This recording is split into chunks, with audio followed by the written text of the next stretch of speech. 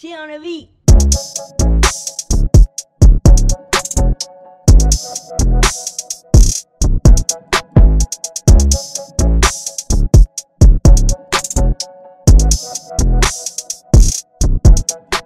Let's get this thing rolling.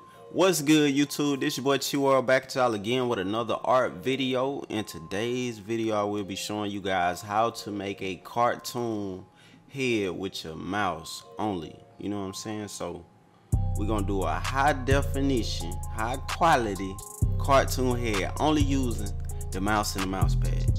So without further ado, let's jump right into this video. First thing you wanna do you want to find a picture you want to use. You want to drag and drop that thing. Okay.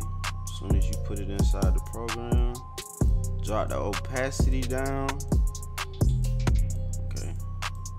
Got it down just good enough. We can see all the detail, man. Say about right there. Then you want to lock that layer. Create you a new layer right above it. Now, to keep from making this a super long video, I'm gonna just show you guys the technique I use first, and then I'm gonna time lapse the video.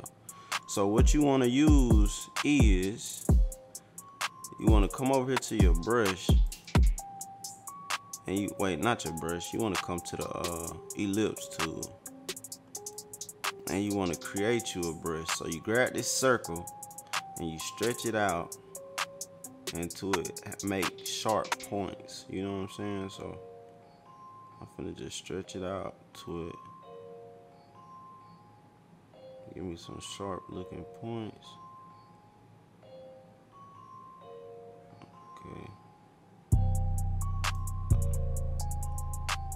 Make sure this is locked and move this black color to the top and make sure the bottom one is locked. Okay, we're gonna zoom in a little closer. Okay, till we get these. Okay. Like that look. So while this is still selected, you wanna come over here to this drop down menu. Then you wanna click new brush. Then you wanna click art brush. Then you wanna hit okay and now you want to come down here. Then you want to click ok again. Come back to your brush tool. And now we just got this brush we just created. You know what i'm saying? So that's the brush we made for our mouse. Another thing you want to do you want to double click onto the brush then you want to bring your smoothness all the way up then you want to hit ok now we're gonna zoom in on our picture. And what you do is, with a steady hand, you try to go as slow as you can so you'll get more control. Then you just wanna follow the line as good as possible. Okay, that's pretty cool. And instead of trying to start right here, like that, we're gonna overshoot our lines. Oh, wait, I want to bring the size down on this brush. So I'm gonna select this this line, and I'm gonna come over here to the drop down menu, and I'm gonna make it smaller. Okay, go back to our brush, and we finna overshoot our line, meaning we're gonna make it cross the line we just made. And with a steady hand.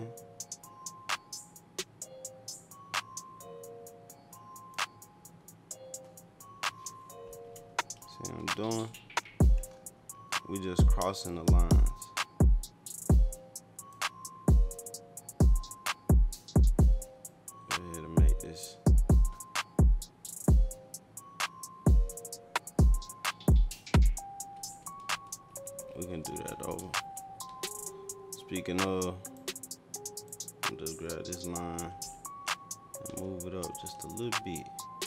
That's cool. Let's go back to our brush tool. With a steady hand, let's try to make it as best as we can. Almost had it. See, it's a little more time consuming when you're using your mouse, but it can be done. Okay. And now that we overshot these lines, I'm gonna show you why we did that. Let's highlight all the lines together.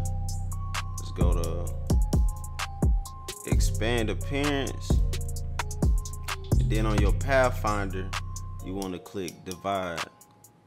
So now we can go to this white selection tool and we can delete the lines we overshot just by hitting delete twice. You know what I'm saying? So now that just helped us make some clean, sharp line work. You feel me? So we just gonna do that process throughout the line work. So now I'm finna um time lapse this so we can speed it up a little bit. Let go.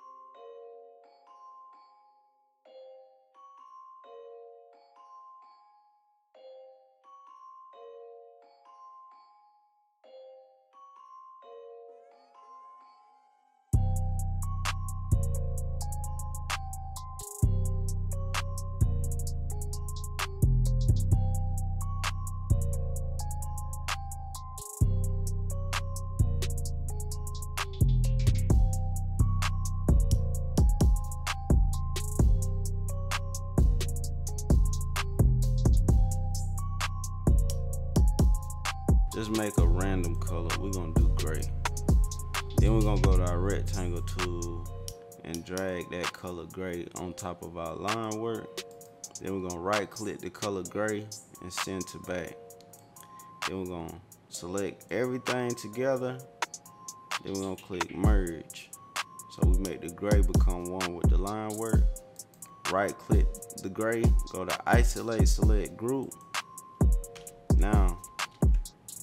Gonna delete all the gray we don't want. But the only place we gonna keep it is inside the eyes and where the hair is supposed to be.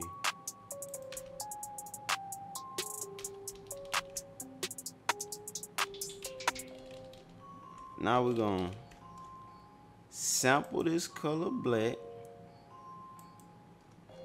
I mean, we just gonna click the gray, my bad select the gray by holding shift. You select all the gray area hold shift. We're gonna select all the gray. And now we're gonna go to our dropper tool and then we're gonna sample this color black. Okay. And now that's what we got you feel me? We're gonna select the entire picture again. We're gonna go to expand appearance and then we're gonna click merge on our Pathfinder so all that can become one line. And there you have it. Now what we finna do is go ahead and go to our uh, pencil tool. Double click onto your pencil tool. Make sure your settings look like mine's. Move your smoothness all up on your all the way to the top on your pencil tool. Make sure your color is at the top and the bottom one is locked. Now we finna zoom in and we're gonna add some finer detail. All you do is you try your best to trace it. Try your best to trace it with your mouse. You see how I'm tracing the outline of the eyebrows? Then you want to come back. And you want to close it off. Just like that. We're to go to the other side and do the same exact thing. Trace the outline with your mouse as best as you can.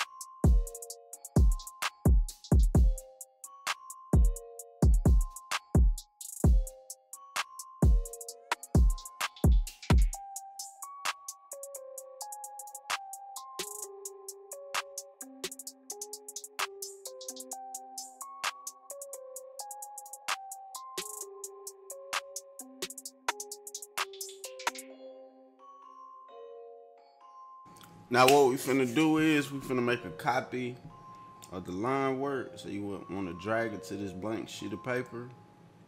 Lock the top copy. Find you a base tone to start out with for the skin tone.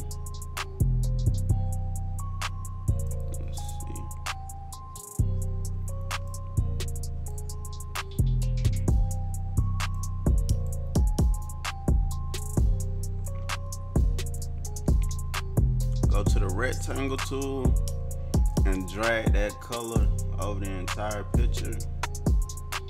Then you want to right click the color, go to arrange, send to back. You want to highlight everything. then you want to click merge on your pathfinder. Right click the color again, go to isolate, select group, and now we get to delete that outer color because we don't need it. Zoom in, hold shift. I'm gonna change the color of the eyes to white. To the lips.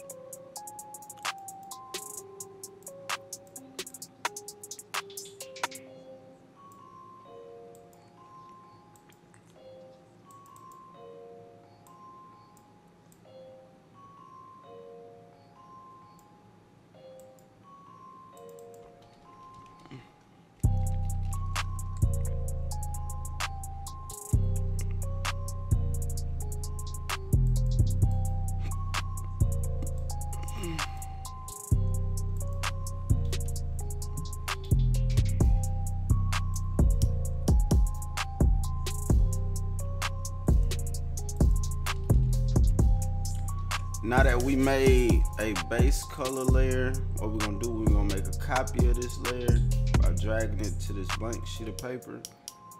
Then you want to lock the bottom copy turn the eye off go to the copy in the center and hit this drop down menu. You want to stroll down till you see the last black line work. You want to lock all those layers the black line work. And keep the top two unlocked and then you want to close it back. Now what we're gonna do we're gonna delete the skin tone out of this layer but we're gonna keep the eyes and the lip color. So just delete the skin tone.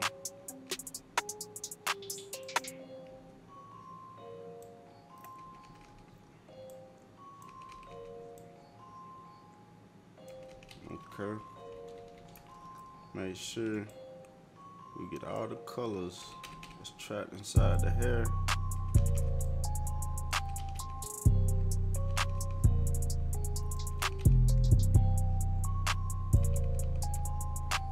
Alright, cool.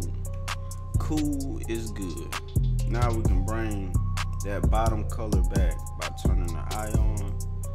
Let's create a new layer in between the base color layer and the color layer with just the eyes and the lips. Now, you want to go to your pencil tool and I'm gonna I'm gonna shade this entire picture just using my pencil tool. So all I do is I start with my dark shadows first and then I place all the dark shadows where it need to go and every time I go lighter with my shadows I create a new layer. And I the lighter I go I put that new layer under the, the layer that's darker than the one that I'm adding. So I start with my dark tone. After I put all my dark tones on on the picture I go a little lighter. And I, I put every every time I go lighter I add a new layer for it. So that's what I'm about to do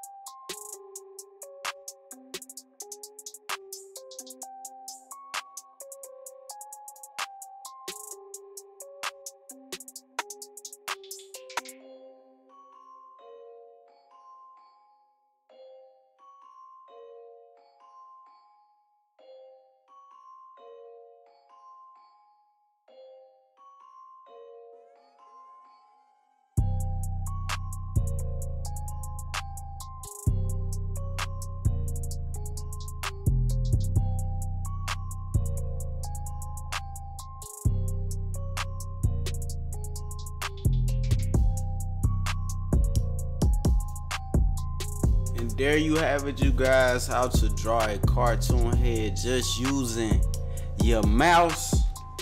Let me see how this look. Go ahead, make a little big where y'all can see it.